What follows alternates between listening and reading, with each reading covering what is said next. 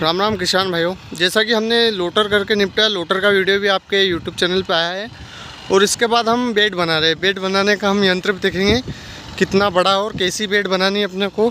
ये सारा हम डिस्टेंस इस वीडियो में जानेंगे।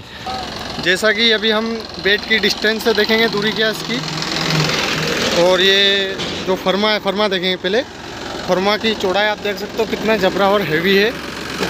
पत्ते भी जबरे इसके और इसमें खाद का वाला सिस्टम भी है, लेकिन हम खाद ऊपर से भी बाद में डालने वाले हैं। जो हम खाद डालेंगे, उसका भी वीडियो आएगा अभी यूट्यूब चैनल पे, कैसा खाद डालना, कौन सा खाद डाल रहे हैं।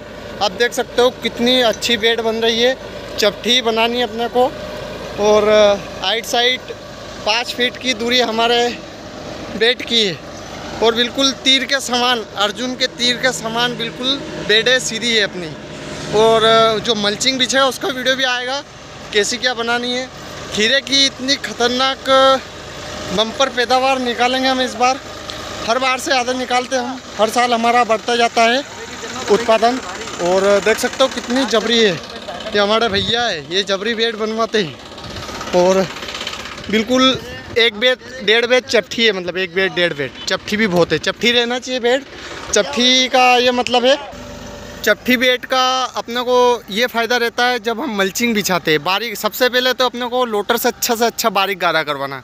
बारीक करने से ये फ़ायदा है, जब हम मल्चिंग बिछाते हैं तो अपनी जो ढेपड़ियाँ रहती है, उससे पन्नी नहीं फटती और बिल्कुल फिनिशिंग आती है और बिल्कुल टाइट और मज़बूत बिछती है।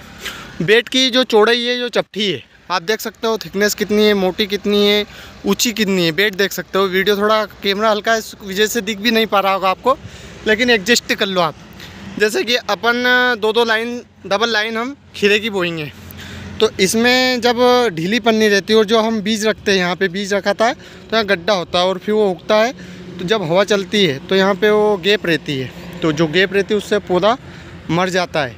तो इसलिए टाइट पन्नी और बिछाना है और अपना टाइट ये चपठी बेड रखना है। मैं बात बात में भूल जाता हूँ आधी बात तो। आ, बाकी फिर ठीक है जो भी बता रहा हूँ बढ़िया बता रहा हूँ। आपको जानकारी मिल रही, वो बड़ी बात है।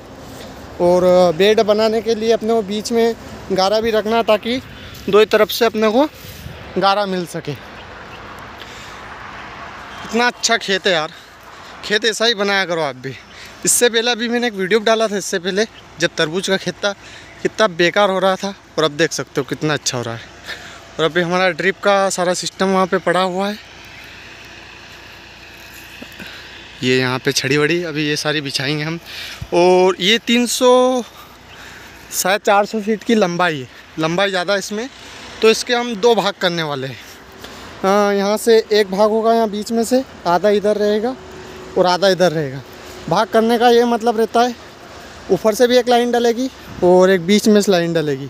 अगर हम वहीं से ऊपर से ही एक लाइन डालते हैं तो दूरी बहुत हो जाती है। दूरी जब बढ़ेगी अपनी तो आखिरी तक जो भी हम फर्टिलाइज़र खाद, जो भी हम खाद देंगे, वो वहाँ तक नहीं पहुँच पाएगा, दूरी होने के कारण।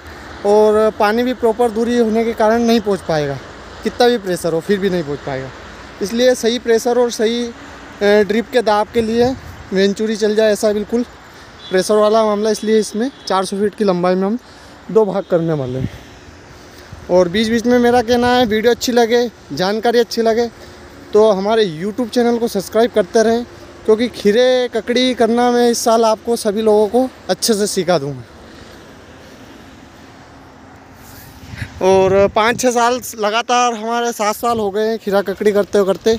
तो उसका जो नॉलेज है, और हर साल पूरे एरिया में नंबर वन खीरा ककड़ी हम हेरते हैं। और इसके शॉर्ट वीडियो बहुत पुराने पड़े भी हैं, लेकिन मैं अभी उनको लॉक कर रखा उनको छोड़ा नहीं है। वो भी छोड़ूँगा।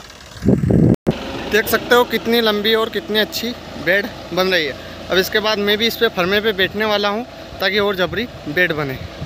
और इसी के साथ वीडियो के अंत कर रहे हैं हम। और अच्छी जानकारी लगे हमारे यूट्यूब चैनल को सब्सक्राइब करें।